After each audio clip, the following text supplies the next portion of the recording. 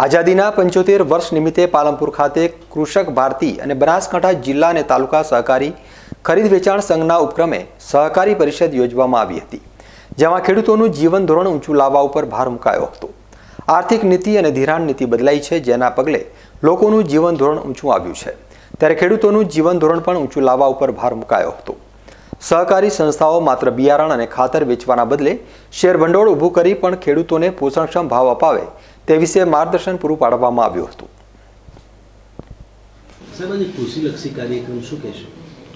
આજે પાલનપુર ખાતે કૃષક Bharati cooperative limited અને બનાસકાંઠા જિલ્લા સહકારી ખરીદ વેચાણ સંઘ તેમજ પાલનપુર તાલુકા સહકારી ખરીદ વેચાણ સંઘના સંયુક્ત ઉપક્રમે આઝાદીના પંચોતેર વર્ષ નિમિત્તે આજે સહકારી પરિષદનો કાર્યક્રમ રાખ્યો છે. એની અંદર સમગ્ર દેશના બદલાતા સમયમાં આર્થિક નીતિ, ધિરાણ નીતિ બદલાઈ છે ત્યારે લોકોના જીવન ધોરણ ઊંચા ગયા છે. ત્યારે આપણી સંસ્થાનો સભાસદ આપની પાસે વધારાની અપેક્ષા રાખે એ સ્વાભાવિક છે.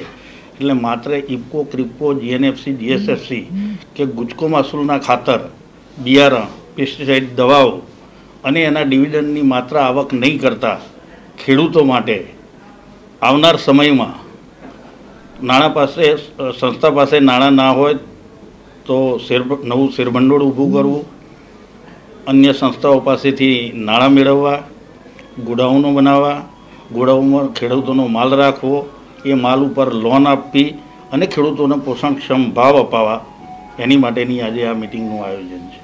શું ફાયદા છે શું ખેડૂતોને? ખેડૂતોને જે ફાયદા છે એ સહકારી પરિષદના કાર્યક્રમમાં ખેડૂતોને શું ફાયદા થવાના છે તો કૃષક ભારતી કોઓપરેટિવ ફર્ટિલાઇઝરનું કામ કરે છે. એટલે એ ફર્ટિલાઇઝર વપરાશ તો ખેડૂતોને ખબર છે કે ભાઈ ફર્ટિલાઇઝરના વપરાશ કરવાથી ખેડૂતોને શું ફાયદો છે. પણ ખેડૂતોને એક માર્ગદર્શન પૂરું પાડવા માટે કે જે તજજ્ઞો અને જે આગેવાનો તાલુકા લેવલનો કાર્યક્રમ, જિલ્લા લેવલનો હોય કે રાજ્ય લેવલનો હોય, જે આગેવાન આવે અને એનું માર્ગદર્શન આપે. અને તજજ્ઞો જે આવે એનું માર્ગદર્શન આપે મનન મંથન અને આત્મચિંતન કરે. અને એ આપણી સંસ્થાના છેવાડાનો સભાસદ શ્રીમાંત ખેડૂને મહત્તમ ફાયદો કરાવે તો આવા સહકારી પ્રવૃત્તિ સાચો સાર્થક ગણાય અને એ ફાયદા છેક ખેડૂત સુધી પહોંચે એની માટે આ કાર્યક્રમના માધ્યમ દ્વારા જણાવવામાં આવે સરકારી સંસ્થાઓ ઘણી એવી છે પડી ભાગવાને હારે છે. એના માટે શું છે? સમગ્ર દેશની અંદર વાત કરીએ તો નવ લાખ જેટલી સહકારી સંસ્થાઓ છે. અને પાંત્રીસ કરોડ જેટલા સભાસદો એની સાથે સીધા જોડાયા છે. ગુજરાતની વાત કરીએ તો પચીસ વર્ગીકરણ સંસ્થાઓ કરીએ તો એક્યાસી હજાર ચારસોને અડસઠ જેટલી સહકારી સંસ્થાઓ કાર્યરત છે અને આશરે એક કરોડ પાંત્રીસ લાખ જેટલા સભાસદો એની સાથે સંકળાયેલા છે. એ આ દેશના અર્થતંત્રને મજબૂત કરવાનું જો કોઈ પાસું હોય, તો એ સહકારી સંસ્થાઓનું છે. જ્યાં તમે કહ્યું, પણ એ નહિવત પ્રમાણની અંદર ક્યાંક એવી સંસ્થાઓને લૂણો લાગ્યો હોય, અને એ ના ચાલે તો એની હિસાબે તમામ સંસ્થાઓ બદનામ થતી હોતી નથી, અને સહકારી સંસ્થાઓના માધ્યમથી તમે જુઓ, સમગ્ર ગુજરાતની અંદર એક્યાસી હજાર ચારસો અડસઠ સહકારી સંસ્થાઓ છે. તો હું બધાનું તો વર્ગીકરણ નહીં કરી શકું પણ તમને થોડી ઘણી વાત કરીશ, તો સેવા સહકારી મંડળીઓ, સમગ્ર ગુજરાતની અંદર નવ હજાર નવસો ને નવ્વાણું છે. દૂધ મંડળીઓ સોળ હજાર સાતસો ને સાહીઠ છે. ક્રેડિટ મંડળીઓ જે છે, એ બાસઠસો ને સત્તાવન છે. માર્કેટિંગ મંડળીઓ છે, એ ત્રેવીસો બાસઠ છે. રાજ્ય લેવલની સહકારી બેંક એક છે, જમીન વિકાસ બેંક એક છે, ગુજરાત સ્ટેટ માર્કેટિંગ ફેડરેશન એક છે ગુજરાત મિલ્ક માર્કેટિંગ ફેડરેશન એક છે એપીએમસીઓ બસો પચીસ છે સબ માર્કેટ યાર્ડ એકસો ચુંબોતેર છે. આવી બધી થઈને એકસો એક્યાસી હજાર ચારસો અડસઠ સહકારી સંસ્થાઓ સાથે સીધા એક એક કરોડ પાંત્રીસ લાખ જેટલા સભાસદ જોડાયેલા છે. એ સીધે સીધો ગ્રામ્ય લેવલે અર્બન લેવલે બધાને ફાયદો. સરકારી માળખાને નુકસાન સરકાર પહોંચાડી રહી છે. સીધો. એ વાતમાં હું માનવા એટલા માટે તૈયાર નથી. સહકારી માળખાને સરકાર સહયોગ આપે છે. કેમ કે મેં આપને પહેલાં કહ્યું કે દેશના અર્થતંત્રને મજબૂત કરવાનું જો સારું પાસું હોય તો એક સહકારી સંસ્થા છે. એટલે સરકાર વખતો વખત સહકારી સંસ્થાઓને પ્રોત્સાહન આપે છે. જેમ નાબાર્ડ દ્વારા ભારત સરકાર બેન્કોને ધિરાણ કરે છે, એ સિવાય ખેડૂતોને ગોડાઉન બનાવવાની સ્કીમો આપે છે, એ સિવાય ઘણી બધી છે.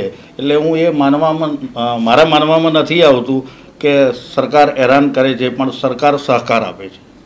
અરવલ્લીની ગિરિમાળામાં જયરાજ પર્વતની તળટીમાં આવેલ બનાસ નદીના કિનારે વિશ્વેશ્વર મહાદેવના પ્રાંગણમાં અમીરગઢ તાલુકા વિશ્વ હિન્દુ પરિષદની સભા યોજાઈ હતી, જે દરમિયાન સભામાં હાજર મહાનુભાવો દ્વારા દીપ પ્રાગટ્ય કરી કાર્યક્રમની શરૂઆત થઈ હતી. આ પ્રસંગે મયુરભાઈ પી પટેલ જિલ્લા મંત્રી દ્વારા સમગ્ર હિન્દુ સમાજને કાર્યક્રમમાં હાજર રહેવા બદલ હાર્દિક સ્વાગત કરવામાં આવ્યું હતું. આ સભામાં પ્રાંત સેવા પ્રમુખ પ્રભુદાસભાઈ ચિમનભાઈ મોદીએ મુખ્ય વક્તા તરીકે હાજરી આપી હતી.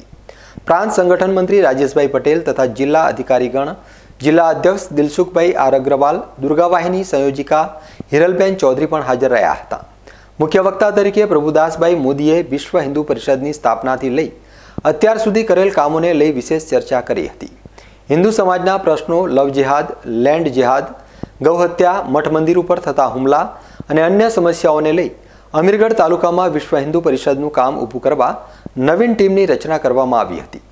અને સંપૂર્ણ ટીમની રચના થયા બાદ હિન્દુ સમાજ દ્વારા ટીમને ખાતરી આપવામાં આવી હતી કે હંમેશા હિન્દુ સમાજ આ ટીમની સાથે જોડાયેલા રહેશે. અને નવીન વરણી થયેલ પ્રમુખ અજમેરસિંહ ડાબીએ પ્રામાણિકતાથી કામ કરવાની મુહિમ સાથે વિશ્વાસ જાળવી રાખશે તેવું જણાવી સમગ્ર ટીમને આભાર વ્યક્ત કર્યો હતો. દેશમાં આ દેશના સંરક્ષણ માટે હિન્દુ સમાજના રક્ષણ માટે, મઠ મંદિરના રક્ષણ માટે આ બેન દીકરીઓની ઇજ્જતના કારણ થઈને આ દેશના યુવાનો સંસ્કારિત બને, સંગઠિત બને, એ હેતુથી સંકલ્પ અને કટિબદ્ધ થયા. એ માટે અહીંયા વિશ્વેશ્વર મહાદેવના મંદિરમાં એક સરસ મજાની સભાનું આયોજન થયું અને એમાં અમારા આદરણીય વડીલ જિલ્લા અધ્યક્ષ દિલસુખભાઈ, શ્રી દિનેશભાઈ અવેરા હિરલબેન અને આ બાહુભાઈ નાય આ જિલ્લાના અ, અજમેરશ્રી એટલે પ્રખંડ પ્રમુખ અને મંત્રી મયુરભાઈ આ બધા ઉપસ્થિત રહ્યા. ગામના આજુબાજુના વિસ્તારના સમાજસેવકો અને સમાજના અગ્રગણ્ય નાગરિકો આવી સંતોના આશીર્વાદથી આ શુભારંભ થયો છે. એવી વિશ્વ હિન્દુ પરિષદ હતી આપ સૌને મારા જય શ્રી.